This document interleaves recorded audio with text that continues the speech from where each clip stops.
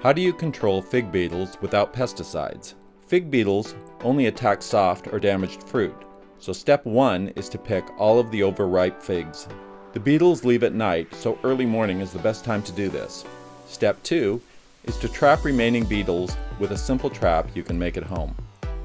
For this trap, I'm using a small zero water bottle and a large soda bottle. Make a funnel out of the smaller bottle with a utility knife. The zero water bottle happens to get wider near the top, which will allow you to connect the two bottles together without additional hardware. But there is a workaround. Check how large of a hole you will need in the soda bottle in order to snugly fit your new funnel in the top.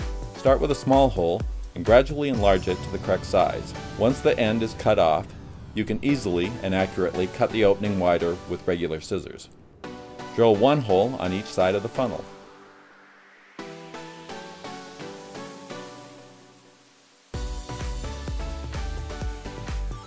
Take a wire hanger and bend the hook tighter. Cut through the wire hanger at each elbow. Bend a hook in the new ends with pliers.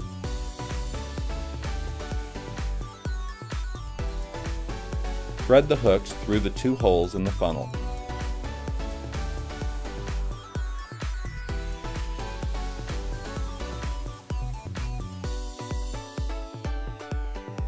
Place a few overripe figs in the bottle.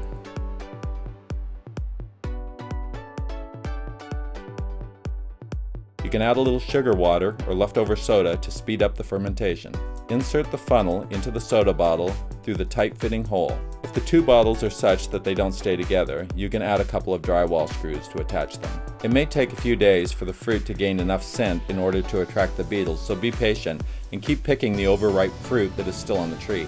You will never trap every single beetle, but these steps will put the odds greatly in your favor. You can easily support this channel by hitting the like button, subscribing to our channel, and sharing this video. Thanks for watching.